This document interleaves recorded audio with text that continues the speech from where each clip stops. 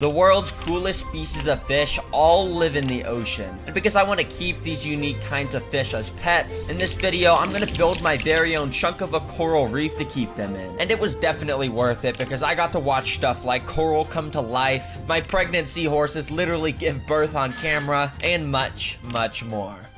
And of course, it all began on day one, where I had none of that stuff. But I did have one thing, and that was a $1,000 budget, baby.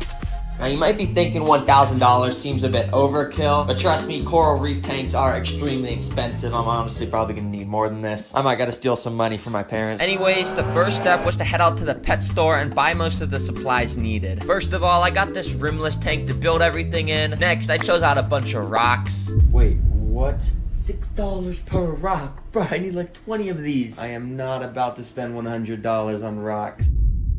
Finally, I picked out some sand, basic technologies,